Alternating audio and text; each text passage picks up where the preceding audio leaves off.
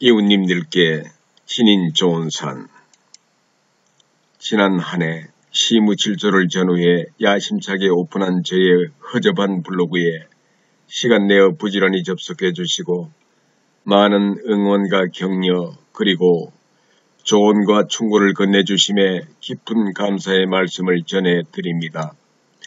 굳이 저의 근황을 말씀드리자면 큰 놈은 머리가 꽤나 영특해져 슬슬 제 부모를 이용해 먹기도 하고 놀려 먹기도 하는데 가소롭게도 제 나름대로 열심히 발전하고 있음을 아비에 대한 잔소리로 증명하고 있습니다.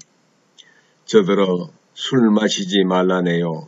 술 마시면 일찍 죽는답니다.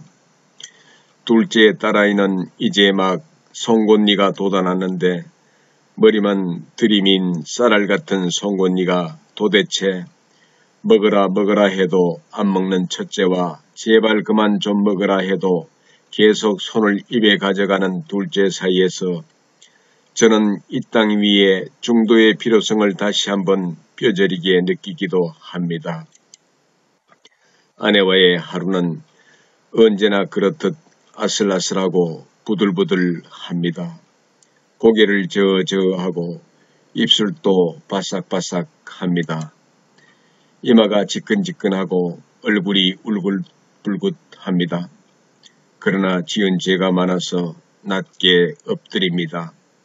그리고 제가 가장 잘 할 수 있는 유일한 집안일을 하나 해둠으로써 남편의 존재감을 거침없이 과시하기도 합니다.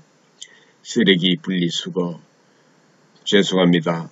이님들께 새해 인사도 전해 올리고 안부도 여쭙는다는 게 그만 신세 타령이 되고 말았네요. 그러나 문득 생각해 보건대 뜬 눈으로 2021년을 맞이할 수 있다는 것만으로도 저는 축복받은 사람이 아닐까 합니다.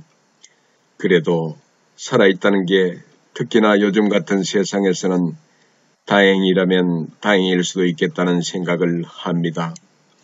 이웃님은 어떻게 지내셨는지요? 성탄절 전후로 아니 언제부턴가 계속 이어져 나오는 나라의 이런저런 위중한 소식들에 함께 고민하고 함께 소리치다 보니 이제는 전후에도 생겨나는 것 같아 든든하기도 합니다.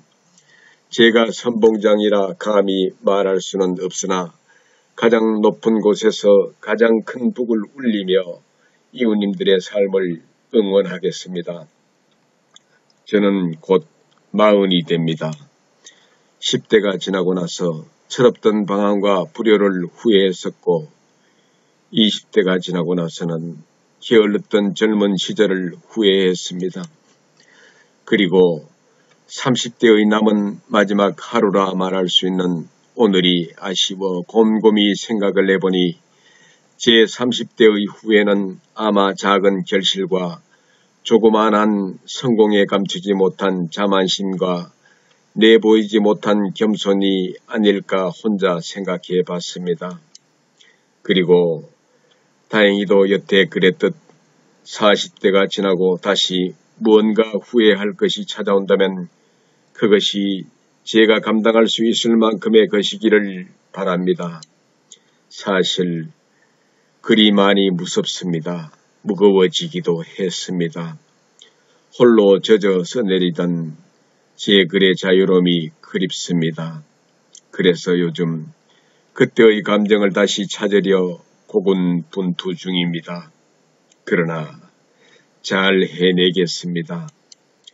또한 저희 부모님을 뵈니 5, 60대의 이웃님들께 한 가지 부탁드리고 싶은 게 생겼습니다. 부디 건강 잘 챙기십시오. 저도 술 줄이겠습니다. 아들이 저 죽는다는데 달리 방도가 없습니다. 언제나 그렇듯 감사드립니다. 그리고 언제나 그렇듯 죄송합니다. 좀 더 많은 댓글들에 답을 남기지 못해 마음이 아픕니다. 글로서 다시 인사드릴 그날을 기다립니다. 진인 좋은 산 구독, 공유, 좋아요 감사합니다. 새해 복 많이 받으시기 바랍니다.